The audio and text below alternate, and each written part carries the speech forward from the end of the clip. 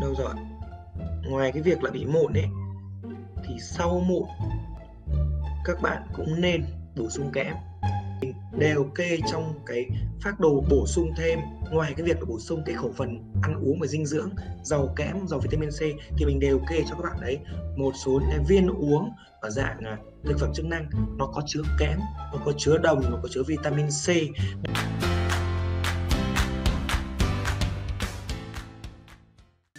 đâu rồi? Ngoài cái việc là bị mụn ấy, thì sau mụn, các bạn cũng nên bổ sung kẽm. Sau mụn nha tức là sau khi mà quá trình mụn viêm, điều trị mụn xong, thì thường để lại những cái vết thâm, những cái vết sẹo lõm mới ở trên da của chúng ta, thì chúng ta cũng phải tăng cường bổ sung kẽm cũng như là cái vitamin C để nó giúp tăng cái quá trình lành vết thương giảm cái quá trình bị thâm các vết thâm mụn cũng như là nếu mà à, các bạn bổ sung à, đủ chất dinh dưỡng ăn uống đủ protein bổ sung đầy đủ kẽm vitamin C có thêm một à, một lượng đồng ở trong đấy thì cái quá trình tăng sinh cái collagen ấy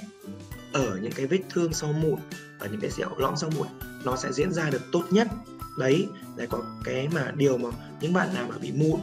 hay là đang trong cái quá trình điều trị sẹo rỗ ấy, thì cũng cần để ý. Và à, đến thời điểm hiện tại à, thì mình à, điều trị à,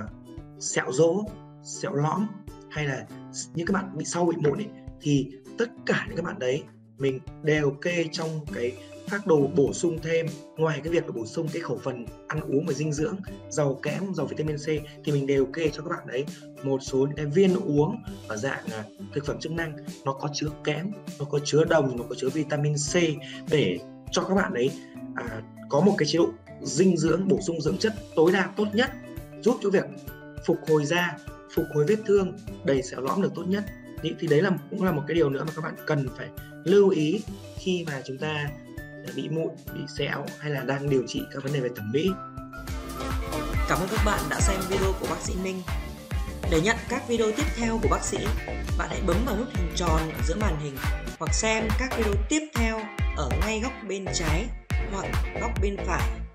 Xin chào và hẹn gặp lại các bạn trong các video tiếp theo của bác sĩ.